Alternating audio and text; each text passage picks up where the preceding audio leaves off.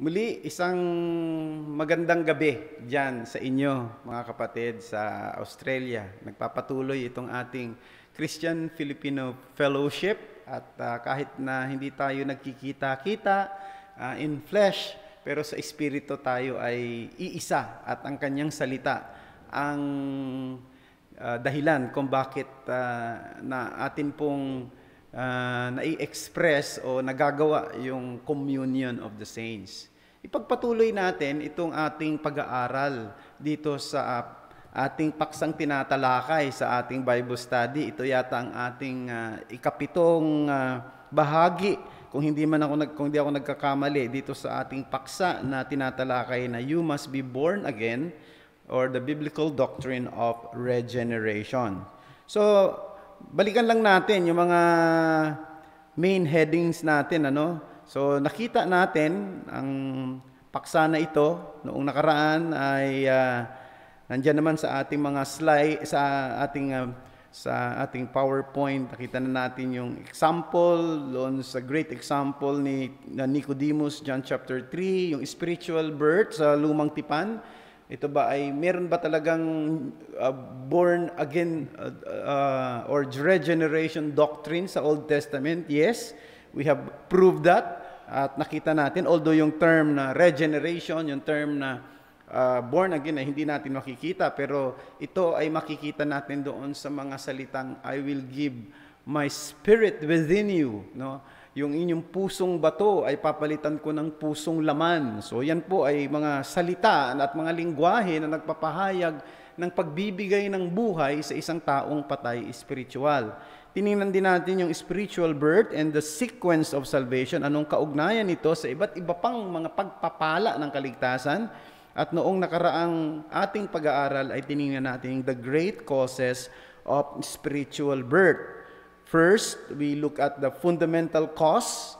The fundamental cause is, it is plainly the work of God. So when we talk of uh, spiritual birth, when we talk of born again experience, ang kapanganakang muli, ito ay fundamentally, ang may sanhi nito ay ang Diyos lamang. Siya lamang ang may akda ng lahat ng ito at siya rin ang nagsagawa ng lahat ng ito. At uh, tinignan din natin yung qualifying cause. The qualifying cause is Christ's death and resurrection. So, ang pagpapala ng pagbibigay buhay sa isang taong patay espiritual ay nakaugnay doon sa kamatayan at muling pagkabuhay ng Panginoong Kristo. No? Yan ang ating dapat tandaan. Kaya nga yung uh, resurrection ng Panginoong Kristo dito nakaugnay eh. Yung resur- yung born again experience kasi in a way parang sinasabi na ito'y isang spiritual resurrection din sa atin dahil tayo nga ay mga patay espiritual. And then, yung qualify, ay yung instrumental cause is none other than the Word of God. In most cases, the uh, experience or the occurrence of uh, regeneration or born-again experience, yung pagbibigay ng buhay espiritual ay nangyayari sa konteksto ng pag-aaral, ng pangangaral at pagbabahagi ng salita ng Diyos. Okay, sa pagkakataong ito ay atin namang titingnan ang Okay, bago 'yon at uh, I have summarized it actually, no, yung ating pinag-aralan last time. Sabi natin dito, what causes the new birth? It originates with God who transform people by the Spirit and it is possible because of what Christ has done on the cross. It usually happens as the word of God is preached or taught. taught. Okay, at this time, we will be looking at the vital signs of the new birth. The vital signs, ang mga mahalagang tanda ng isang taong nakaranas ng kapanganakang muli o ng pagkakaroon ng espiritual na buhay. Uh, ang bawat magulang na naririto sa atin, alam naman nila ang kagalakan sa kanilang damdamin, na makita nila ang kanilang bagong uh, sanggol, ang kanilang sanggol na, pum- na dumating dito sa mundo ay merong signs of life. So sa kabilang bahagi naman, anong lungkot ang mararamdaman ng isang magulang uh, kung ang kanyang anak nang ito'y ilabas niya sa kanyang sinapupunan ay makita niyang patay o yung tinatawag nating stillborn baby, no? So, di kasi alam natin na bagamat napaka-advanced na ng ating technology at ng ating um, uh, medisina sa panahong ito, wala pang modern medicine na pwedeng mag-impart ng buhay sa isang taong patay, no? So, uh, ganun din sa spiritual realm in the spiritual realm as in the physical, new life means everything. Kung ang isang tao ay totoong ipinanganak na muli, ang isang tao ay ipinanganak ng Diyos, merong signs of life, merong tanda, no? Merong palatandaan na meron siyang buhay. Kung yung tanda na yan ay hindi nakikita sa kanya, eh merong great alarm, no? Malungkot yan, delikado yan kung hindi nakikita ang tanda. Kasi, di ba, uh, yung isang yung isang namatay na tao, bangkay, no? Damitan mo man yan ng magagara at mga mamahaling mga damit, no? Eh, papuntahin mo man diyan ang isang pinakamahusay at pinakakilalang artist para make-upan siya o mag-makeover sa kanya para maganda ang kanyang uh, itsura, isang kat, ang, katoto, kat, ang katotohanan siya'y patay, ay hindi kayang baguhin ang lahat ng yan. All the finest clothes in the world will not help that corpse. What we need is new life that only God can impart. So yun po yung unang bagay rin na gusto kong sabihin sa inyo, yung note natin, new birth is God's initiative and God's powerful impartations of life. So, pag pinag-uusapan itong bagong kapanganakan, ito ang pinag-uusapan natin dito, bagamat paulit-ulit na ito, no? ay ito'y initiative ng Diyos at siya lang ang may kapangyarihang magbigay ng buhay sa isang taong patay espiritual. We cannot attain to this new life by our own effort. It is not a matter of trying harder, rather, the initiative and the power lie with uh, God. No? Diba? John chapter 5 verse 21 says, For just as the Father raises the dead and gives them life, even so the Son also gives life to whom He wishes. Pansinin niyo yung salitang yan. He gives life to whom He wishes. So ang pagbibigay ng buhay sa isang taong patay ay hindi nakabatay doon sa kagustuhan ng tao, kundi sa kagustuhan ng Diyos. Siya lang ang may mayroong uh, initiative and may prerogative to do it. And therefore, pwede na, dito natin masasagot yung tanong, bakit hindi nakakilala sa Panginoon itong taong ito? Bakit ito nakakilala sa Panginoon? Bakit siya naunawaan niya yung simpleng pangungusap ng Ebanghelyo? Samantalang ito na napakatalino, hindi naman niya maintindihan yung pinapaliwanag mo sa kanya. Ibig sabihin lamang, ang Diyos ang nagbibigay ng buhay sa mga taong gusto niyang bigyan ito. Siyang nagbibigay ng unawa sa mga taong gusto niyang bigyan ng unawa nito. Now, sa clarification natin, let me just clar- clarify that the occurrence of new birth, though non-observable, but the evidence of life is detectable. Now, let me underscore that. The occurrence of new birth, though non-observable, but the evidence of life is detectable. Bakit non-observable yung occurrence? Kasi it happens inward. No? It is something na nangyayari sa loob. And it happens in the heart. So by definition, you cannot directly observe it. However, just as we know that we have been born because we exhibit, exhibit life, signs of life, ano yon? May movement, may respiration, no? O umiiyak yung isang bata, no? So ibig sabihin sign of life 'yan, no? And may growth, So in a similar way, we can know that we have been born again by looking for signs of life. Dapat mayroong tanda.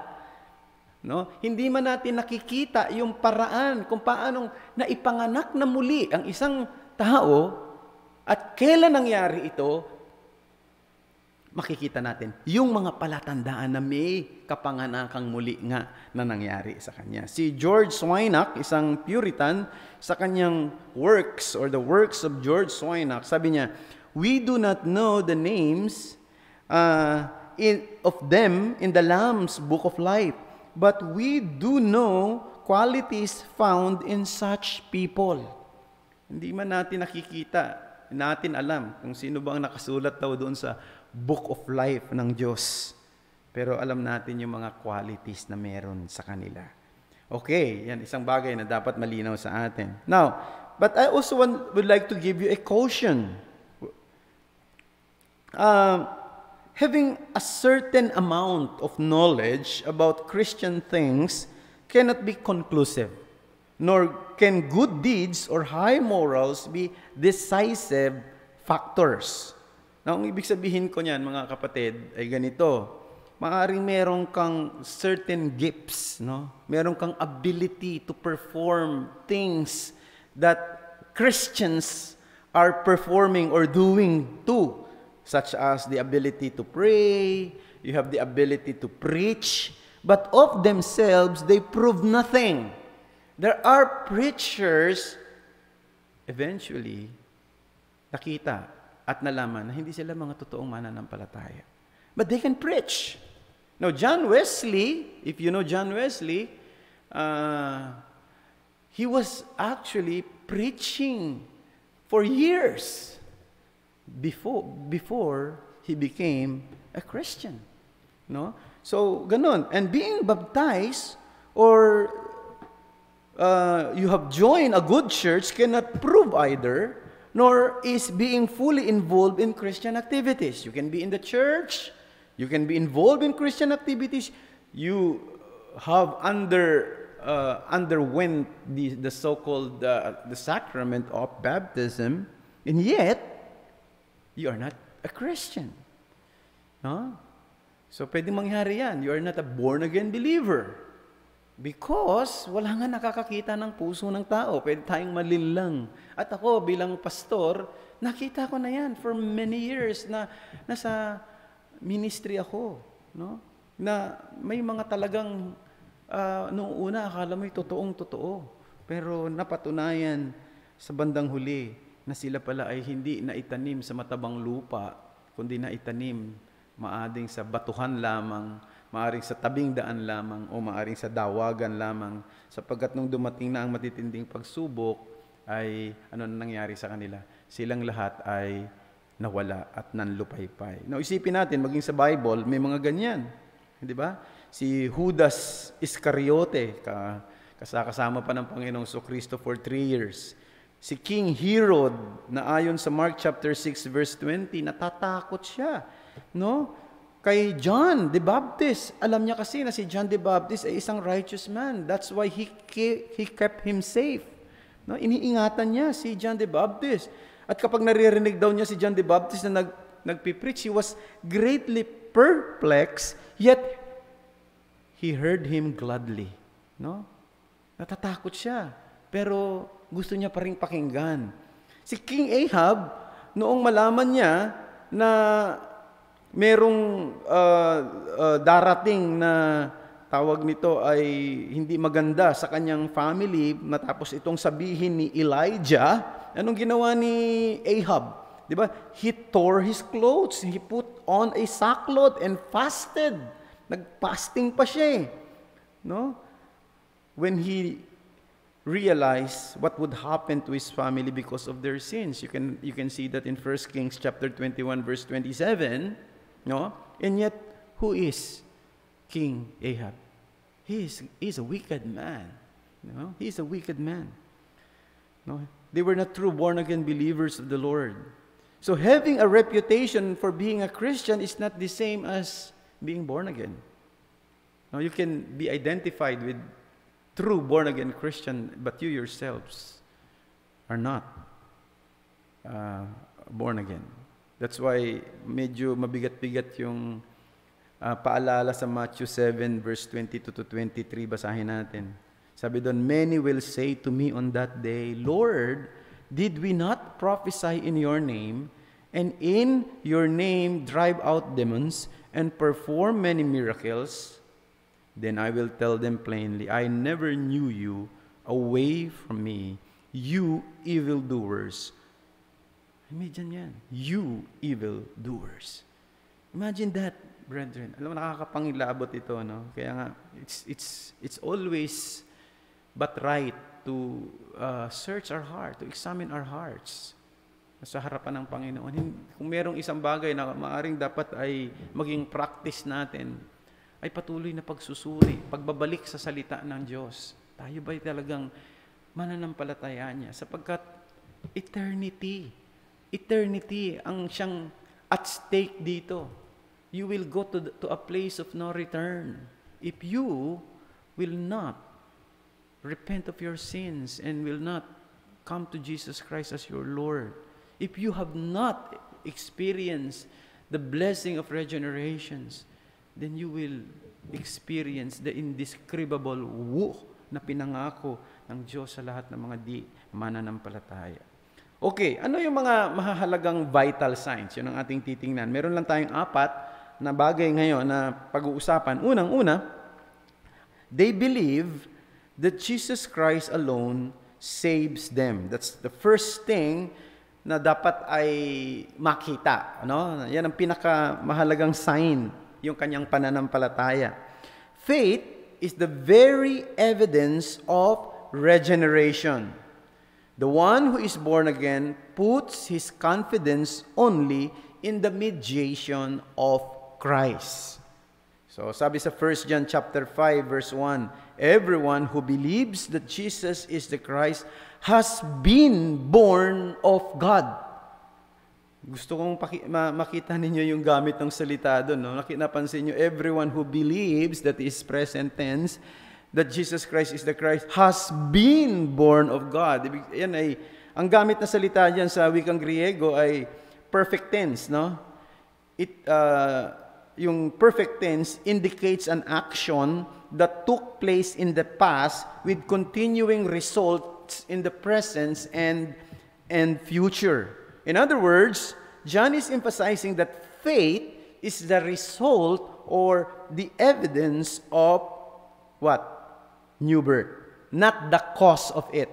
No, let me underscore that. Faith is the evidence or the result of the new birth, not the cause of it.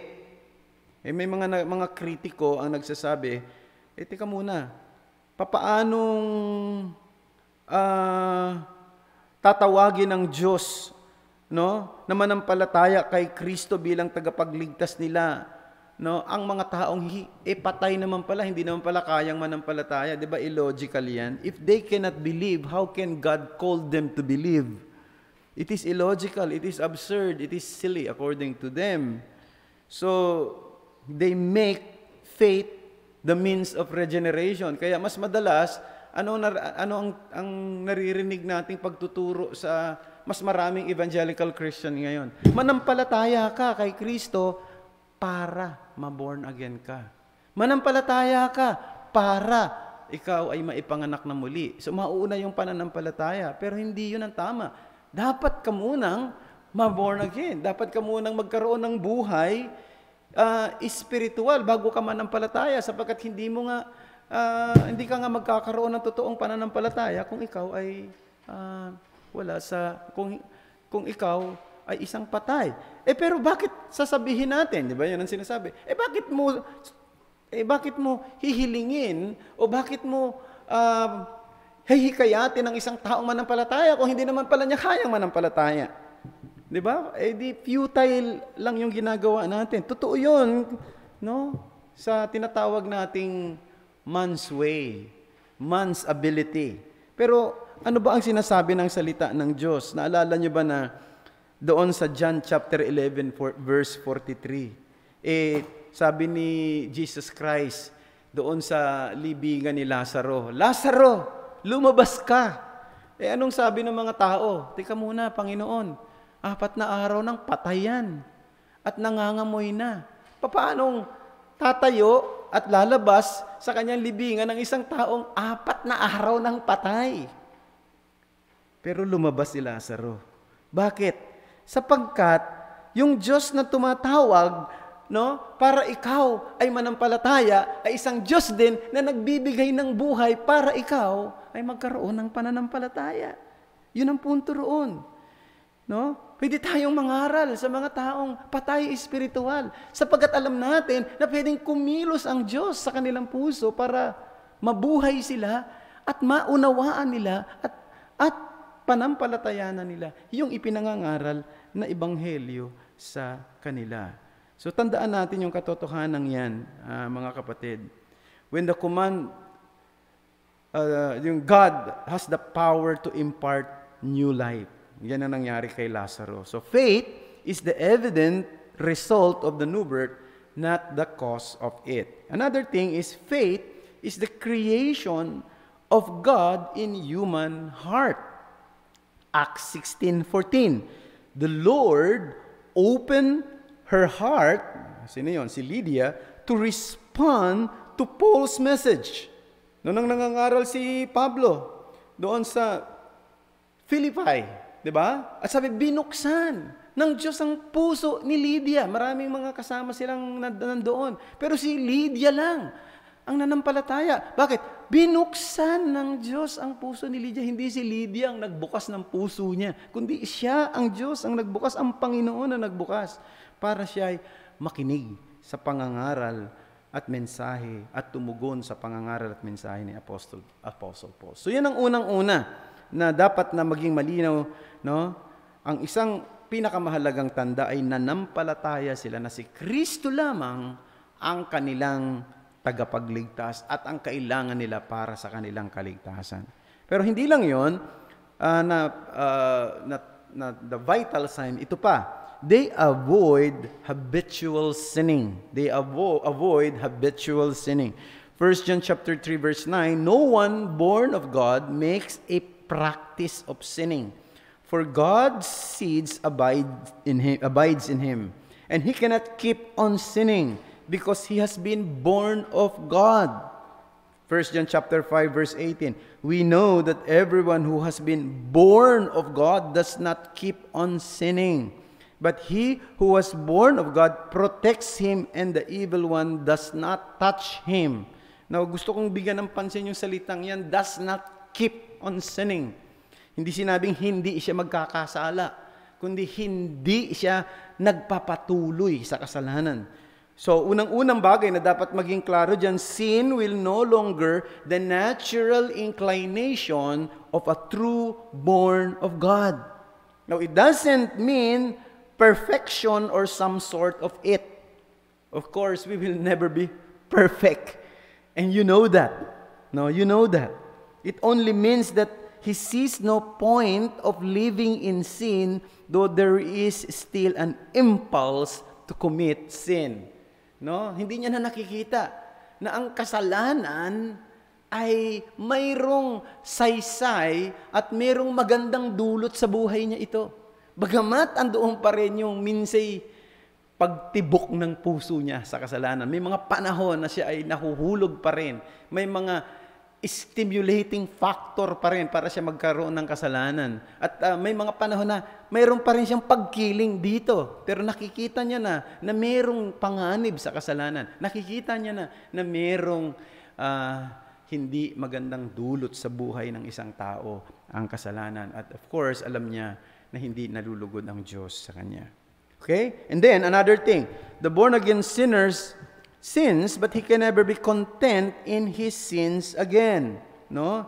Ang isang uh, born again, ang isang totoong ipinanganak na muli ay uh, hindi na nagkakaroon ng contentment sa kasalanan. He can still commit sin, but he can he can be, he can never be content in his own sin. No, si Benjamin Bedom, isang English particular Baptist minister in 18th century, sa kanyang sermon on regeneration, ito yung sinabi niya. Those who are born of God do not commit sin as others do, contentedly, obstinately, and perseveringly, nor as they themselves once did. Sin has not the dominion over them, nor has it gained their full consent. It dwells in them, but not rule over them. It is the object of their hatred, even while they commit it, and when committed, it is a matter of their grief. So, I hope yan ang nararamdaman natin. No? Maaring nagkakasala tayo, pero nalulungkot tayo. Bakit na, nagawa mo yung kasalanan na yan? Bakit nahuhulog ka sa kasalanan? And I hope hindi tayo katulad ng ibang tao na nag enjoy sa kasalanan. At hindi katulad ng ibang tao na uh, binibigyan lagi ng katwiran ng kanyang kasalanan. Ang kasalanan na nagagawa natin ay hindi natin dapat pinangangatwiranan. No? Ito ay isang bagay na hindi tama. No? Isang bagay na hindi uh, nararapat sa isang mananampalataya. I was talking to a, bread, uh, to a brother uh, some months ago and uh, uh, he was uh, no, uh, relating to me yung meron sila kasing parang uh, grupo no na mga magkakaibigan at meron isa sila isa sila sa mga kaibigan doon na talagang nagtitrigger eh ng ng ng ng away no doon sa kanilang grupo. Para bang medyo may pagka ano eh may pagkamayabang at may pagka assertive and yung dating na yon eh talagang mag, magre-react din yung mga tao at magagalit din sa kanya. Sinabi niya, ako nga, naggalit ako sa kanya. Pero alam ko, dahil hindi rin tama yon ano? Talagang lumabas din yung pagiging makasalanan ko pa rin. Nandito pa rin yung kasalanan sa puso ko. So, ang point doon, hindi niya binibigyan ng ng ano eh ng pang, ng tinatawag na rationalization yung kanyang nagawang kasalanan kahit na may nakaka nakagawa siya ng kasalanan dahil yung tao na nasa harapan niya ay nag uh, nagtitrigger para gawin niya yung kasalanan na yon, eh, hindi niya pa rin binigyan ito ng katwiran dahil alam niya hindi rin ito, hindi rin tama na ganun din ang kanyang magiging tugon. Okay? So yan. So, ang isang bagay na uh, dapat na maging clear sa atin ay uh, hindi tayo kontento doon sa nagawa nating kasalanan at ito'y kinakailangan nating pagsisihan. Okay, and another another vital signs is this. They live a life of holiness. They live a life of holiness. 1 John chapter 2 verse 29, 29 says, If you know that he is righteous, you may be sure that everyone who practices righteousness has been born of him. So, uh, dito makikita natin that the general trend in the life of a true believer will be toward increasing holiness. No? The general trend in the life of a true believer will be toward increasing holiness. So katulad ni David, 'di ba? Alam naman natin si David, nag, nah, nahuhulog siya sa kasalanan, nag-fall siya. But like him, we will consider all God precepts, ano, And, and, and we will hate every wrong path. Psalms 119 verse 128. You know? Uh, nahuhulog sa kasalanan and then we will consider God's precepts. And then we hate, we hate every wrong path. And another thing is true born again Christian has a life shaped by the dictates of God's word. He thinks, feels, and wills and acts in line with the word with the word from a motive of love for God and desire for His glory. His sanctified affections are the source of His Spirit-aided efforts to obey. Ulitin ko ha, yung kanyang sanctified affection, meron na siyang sanctified affection, at yun ang source no, ng Spirit-aided efforts to obey. Meron siyang sanctified affection at andyan din ang banal na espiritu na tumutulong sa kanya para magawa niya at sumunod siya sa kalooban ng Diyos. Hindi niya ginagawa yung isang bagay dahil gusto niya lang ng morality. It is not the same as doing things for the sake of morality. No? It is doing things because it is God's will. It is doing things because it is being dictated by what God uh, by, by the Word of God. No? And you are aided by the Holy Spirit to do it. So, kasi pag sinabi nating morality, morality seeks only outward conformity to the letter of the law from an ultimately self-interested spirit. Maraming ganyan. No? They want to be to live a life uh, na tama, na may moral, because they want to be above others. No? So, uh, yung paggawa nila ng mabuti, yung paggawa nila ng tama, ay maaring dictated din ng kanilang selfishness. So, hindi yun ang dapat gawin. Dinidiktahan tayo o sinishape tayo ng salita ng Diyos, kaya ginagawa natin kung ano yung tama. At yan ay isang mahalagang tanda ng isang totoong ipinanganak na muli sa Espiritu. Okay? So, nakita natin, meron siyang pananampalataya, meron siyang pag uh, hindi na siya namumuhay sa kasalanan, they live a life of holiness. And then, ikaapat, they have a special love for all Christians, for true disciples of Christ, for fellow believers. 1 John chapter 4, verse 7. Beloved, let us love one another, for love is from God, and whoever loves has been born of God and knows God. 1 John chapter 5, verses 1 and 2. Everyone who believes that Jesus is the Christ has been born of God. And everyone who loves the Father loves whoever has been born of him. By this we know that we love the children of God when we love God and obey His commandments. So, unang bagay na dapat clear sa atin uh, in this regard is this. Love for God and love for His children are inextricably bound together. No? Hindi natin pwedeng i-divorce yung first gr- uh, ano uh, great commandments to the second great commandment. Ano yung first great commandment? Love the Lord your God with all your hearts, with all your mind, with all your strength. And the second commandment, love your neighbor as yourself. Inseparable yan. If there is evidence that the person is a child of God, no, through the new birth, then he, he is my brother. He is my sister. Even if I disagree with him about certain doctrinal matters, no? I must accept him just as Christ accepted me. So, di ba? So, maaaring meron tayong mga ibang doctrinal uh, differences. Uh, perhaps sana minor differences, no? But if there is an evidence that uh, ikaw o ako ay may uh, may totoong pananampalataya sa Panginoon at totoong man, uh, totoong pinanganak na muli, uh, we must accept one another. We must I must accept you and you must accept me as brother in the Lord. So maaring we may we may draw a line, no, a narrow line no? Doon sa tinatawag nating in laboring together in the gospel. So maaring sige, uh, uh, ito yung ministry mo, ito yung ministry ko, ito yung gagawin mo, ito yung gagawin ko. Maaring hindi tayo pareho ng kaloob, hindi tayo pareho ng mga mga uh, ng misyon sa buhay bilang Kristiyano, pero hindi tayo pwedeng magkaroon ng magdo-draw line pagdating sa pag-ibig natin sa isa't isa. Dapat meron tayong pagtanggap sa isa't isa, pagmamahal sa isa't isa. No? So maaaring magkaiba tayo ng paniniwala sa politika. Maaring yung sinusuportahan mo na politiko, siya ang love na love mo.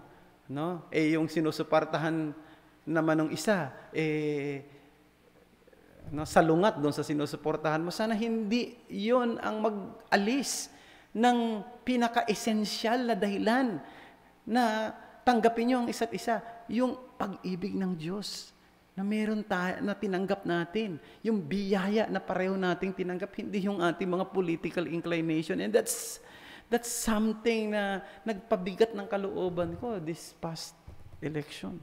Mga magkakapatid, nag-aaway-away, mga kapwa Kristiyano, no, nag uh, nagkahiwalayan dahil sa pananampalat dahil lang sa kanilang mga political inclination. Nakakalungkot sa ang ganyan, no? Nakakalungkot. Sana hindi 'yan ang siyang maging daan, kundi yung ating uh, iisang pananampalataya sa ating Panginoon. Uh, politics come and go, no? Dito sa Pilipinas, Every six years, pinapalitan ng mga presidente rito, mga uh, nasa national position. So, Imagine mo yan, di ba? Anim, dahil lang doon sa anim na taong panunungkulan na yun, magsis, magkaka, magkakasira yung ating uh, relationship. Hindi ba't ang ating relationship ay eternal? Sisirain mo ng temporal? So that's that's that's something weird to me. No, I'm I'm uh, I'm so sad even at this point in time na may ganyang mga nangyayari. Another thing is genuine love for the brethren must define by obedience to God's commandment and not by culture. No, not by culture or not by cultural definition of love. For example, ang kultura kasi natin ay nagsasabi kung ang isang kaibigan o kapatid no ay nakagawa ng isang seryosong kasalanan, no? Ang pinaka-loving thing na pwede mong gawin sa kanya ay to be nice and to overlook his sin. No? To call it sin or to try to correct the sinner would be judgmental and unloving. Sabi ng iba. So, what happened? May ginagawa ng kasalanan sa loob ng church. Pinababayaan pa rin. Because let's overlook the sin No, love must prevail. Yun ba? To show genuine love to a sinning brother, we must love God and obey His commandments. This means, yung isang kapatid na nagkasala, ay dapat hikayatin na magsisi. Dapat pakiusapan na magsisi. No? Dapat i-correct sa kanyang pagkakamali. It means showing him that Jesus Christ is ready to forgive and give victory over his sin. Now, kung hindi siya magsisisi, kung magmamatigas ang kalooban niya, dapat siyang disiplinahin. Discipline must be implemented. And this is, this is something that we cannot find in many churches today. No? Yung isang uh, Kristiyano, yung iba naglilid pa nga eh. Alam ng iba na gumagawa ng mali. Pero hindi gina, walang aksyon ang iglesia. Walang disiplina. So nasaan yung tinatawag nating pagmamahal sa kapatid? Kasama sa pagmamahal ay ang pagsu- pagsaway sa kanyang ginagawang kasalanan at kasama roon ay ang pagdidisiplina sa kanya. Sapagat ang disiplina ay isang paraan para siya ay ibalik sa Panginoon to restore him. No? Anything less than this is not biblical love, either for God or for the sinning believer. So, when we see uh, a certain believer sa isang church na gumagawa ng kasalanan, nagkakamali, no? Ang iiral dito kung ano yung gusto ng Diyos. Ano yung ibig sabihin, ano yung pinaka uh, turo ng salita ng Diyos pagdating diyan sa bagay na yan. No, pasensya na kayo, mukhang merong nag, uh, may nangangampanya na naman yata uli ngayon dito. Tapos ng eleksyon eh. Ewan ko bakit maingay sa, sa labas. No? Siguro sarado natin yung pintuan. okay. Paki, ano lang. Uh, okay, so yun ang una. Yun ang pinakahuli natin na gusto kong bigyan ng pansin ay ito. Um, Unang-una, nakita natin ang isang vital signs no, ng uh, uh, isang totoong uh, pinanganak ng muli, mayroon siyang pananampalataya, hindi siya nagpapatuloy sa kasalanan, nagmamahal siya sa kabanalan, uh, at uh, pangat, pang-apat ay meron siyang pagmamahal sa mga kapatiran, at uh, ikalima ay they persevere in Christian living in spite of the world. They persevere in Christian living despite of the world. 1 John chapter 5 verses 4 to 5 says, For everyone who has been born of God overcomes the world. And this is the victory that has overcome the world, our faith. Who is it that overcomes the world except the one who believes that Jesus is the Son of God? So, malinaw yan, ano, mga kapatid. Tandaan natin, Christian life should always be armed for battle. Christian life should always be armed for battle. Yung ginamit na salita rito, 'di ba? For everyone who has been who has been born of God overcomes the world. The world here refers to the evil organized system under Satan's dominion that is opposed to God and his purposes. No? 'Yan ang dapat nating linawin pagdating dito sa usapin ng world. Sabi ni Bishop Westcott sa kanyang commentary on the epistles of John, sabi niya, the term world gathers up the sum of all the limited transitory powers opposed to God which make obedience difficult. The point is, the world that we are dwelling is an enemy, enemy's territory. Yung mundo na meron tayo ay teritoryo ng ating kaaway. Naala, naalala niyo ba yung pelikula na Behind Enemy Lines? No? Ang ganda ng pelikula na yun. No? Kung napanood nyo siguro yung isang US Navy helicopter pilot na si Lieutenant Chris Burnett.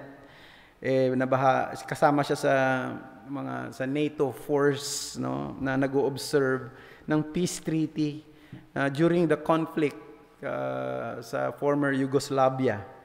Eh, siyempre, naboboard na sila pareho doon sa routine duties na ginagawa nila. No? He, he flies off no his designated route no at nung nagpa-fly nag uh, nag-aano siya nag uh, nasa ere siya nakita niya mga Serbian forces na nagbi-breach ng peace agreement at uh, nagkataon din isang local Bosnian Serb na isang paramilitary commander si General Misrolab Lokar eh, nagko-conduct ng isang secret genocidal campaign against the local Bosniak population. Eh naspatan nila yung yung ano, yung aircraft nila, yung helicopter. Ngayon, anong ginawa? No? Eh kanilang pinaputukan, bumagsak yung helicopter.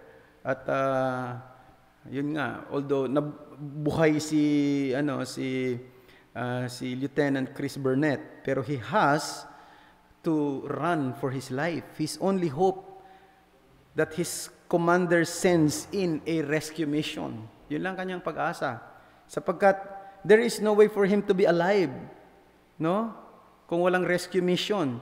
He has to run from his enemy to fight when he is cornered and to be cautious in all his walk because there were landmines all around. May mga landmines, so talagang cautious na cautious, pero hindi gaano siya, gaano niya magagawa ang lahat ng yan, eh, tiyak na uh, walang katiyakan. Kaya kailangan niya ng rescuer. We should always be in the battle mood until Christ will take us from this world.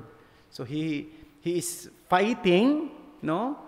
No, he is so Lieutenant Chris Burnett was fighting against the enemy, running, no, very careful in his walk. May mga landmines, no? Pag parating na yung mga kaaway, tago siya, punta siya rito. Yun ang ginagawa niya. Pagkatapos, pero ano ang pinaka-ultimate na pag-asa niya? Darating na yung rescue mission para sagipin siya. Tayo naman ganun din. Nakikipaglaban tayo rito sa mundo. We are fighting the sinfulness of the world. No? We try our best to avoid sin. We try our best to ano to uh, run away from sin. We try our best no to fight sin, not to be influenced by sin, but our ultimate hope is that Christ will come again to rescue us from this world and to bring us to His glory. No? Si Benjamin Bedum uli, doon sa kanyang sermon on regeneration, ito yung sinabi niya, The world is not the object of our pursuit, nor as far as he acts in character. Had he any anxious or disquieting cares about it, he neither inordinately thirsts after it, nor is much concerned to part with it.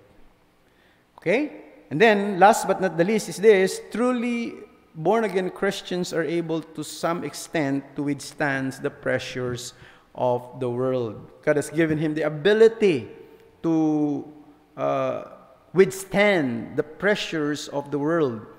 Alam niyo, very interesting na yung salitang overcome na ginamit dito sa 1 John chapter 5, verses 4 to 5, yung sinabi doon, for everyone who has been born of God overcomes the world. Yung salitang overcomes ay galing sa wikang Griego na Nike. Yun po ang Greek word nun, Nike. N-I-K-E. Alam na natin yan. Yung Nike, na sapatos na paborito siguro ng marami sa inyo, literally mean victorious or overcomer.